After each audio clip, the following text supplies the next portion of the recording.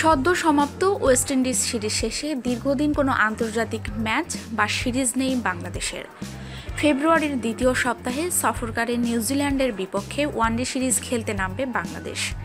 সেটি জাতীয় দলের আন্তর্জাতিক ক্রিকেটের পরবর্তী মঞ্চ। তিন ম্যাচের ওই ওয়ানডে সিরিজের পর রয়েছে তিন ম্যাচের একটি টেস্ট সিরিজও।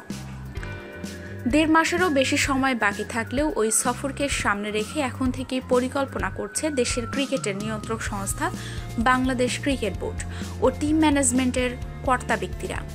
দু হাজার উনিশ সালে ইংল্যান্ডে অনুষ্ঠিতব্য আইসিসি ওয়ানডে বিশ্বকাপের সাথে নিউজিল্যান্ডের কন্ডিশন অনেকটাই মিলে যাওয়ায় স্বাভাবিকভাবেই এই সফরকে বিশ্বকাপের জন্য প্রস্তুতির ভালো মঞ্চ হিসেবেও দেখা হচ্ছে।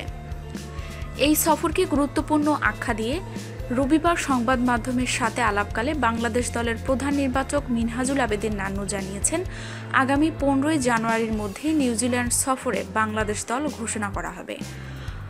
আর অনভ্যস্ত কন্ডিশনের সাথে খাপ খাইয়ে নিতে নেওয়া হবে কার্যকর পদক্ষেপ। নিউজিল্যান্ডে বাংলাদেশের পূর্ব অভিজ্ঞতা খুব একটা সুখকর নয়। দুই সালে নিউজিল্যান্ড সফরে গিয়ে একটি ম্যাচও জিতে পারেনি বাংলাদেশ। তিনটি ওয়ানডে তিনটি টি টোয়েন্টি ও দুটি টেস্ট ম্যাচের পৃথক তিনটি সিরিজের সবগুলো ম্যাচ ছেড়ে তিনটি সিরিজেই হোয়াইট ওয়াশ লজ্জায় পড়েছিল টাইগাররা যদিও এই নিউজিল্যান্ডেই বাংলাদেশ সফরে এলে একটি জয়ের জন্য রীতিমতো হাঁপিয়ে ওঠে। তবে বর্তমানে দল ভালো ফর্মে থাকায় এবার ভালো করার প্রত্যাশা নান্নুর তিনি বলেন, আমরা এখন নিউজিল্যান্ড সফরের দিকে তাকিয়ে আছি। এই সফরটা খুবই গুরুত্বপূর্ণ। সেখানে আগের সফরের বাজে অভিজ্ঞতা হয়েছিল আমাদের, তবে আমি মনে করি ক্রিকেটার এখন অনেক পরিণত। নিউজিল্যান্ডের কন্ডিশন আমাদের জন্য অনেকটাই অচেনা থাকবে। বাংলাদেশ অভ্যস্ত স্পিনে সেটি বল করা এবং বল মোকাবেলা করে দুই ক্ষেত্রেই, কিন্তু নিউজিল্যান্ডে উইকেট হবে পেস বান্ধব। তবে এই কন্ডিশনেই খেলতে হবে বিশ্বকাপ, তাই খাপ খেয়ে নেওয়ার ব্যাপারটি ঘুরে ফিরে আসছে সামনেই। আর এই কন্ডিশনের বিষয়টি রয়েছে বিশেষভাবে বিবেচনায়। নানু বলেন, নিউজিল্যান্ডের জন্য তো অবশ্যই আমাদের মাথায় আছে আমরা টিম ম্যানেজমেন্টের সঙ্গে বসে আলাপ করব। আমাদের একটা পরিকল্পনা আছে, আমরা এটা নিয়ে বসবো যে কন্ডিশনে যেভাবে খেলবে, সেভাবেই কিন্তু আগাতে হবে আমাদের মাথায় পরিকল্পনা আছে, সেটা নিয়ে কাজ করব। আগামী জানুয়ারি পনেরো তারিখের মধ্যে আমরা দল ঘোষণা করব।